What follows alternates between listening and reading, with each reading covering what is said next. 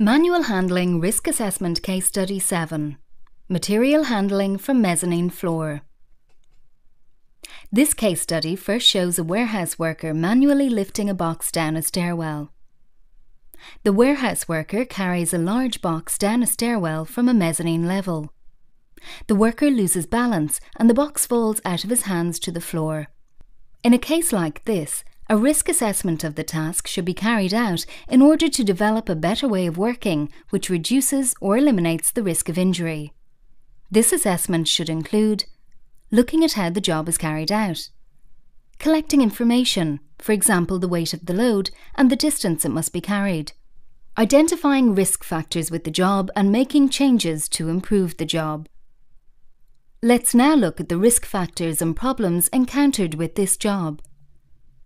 The distance the box must be carried is excessive. The floor is uneven.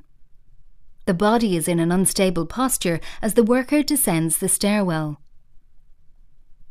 Once a risk assessment has been carried out, a new system of work can be adopted to reduce and reorganise manual handling, as demonstrated in the following sequence.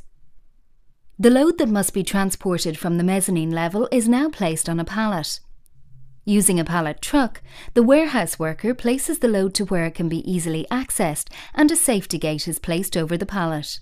A forklift truck now moves into position to access the pallet and transfers the load to ground level. Having reorganised the storage system and introducing mechanical aids, manual handling has been greatly reduced. Manual handling assess to avoid, reduce, or reorganise.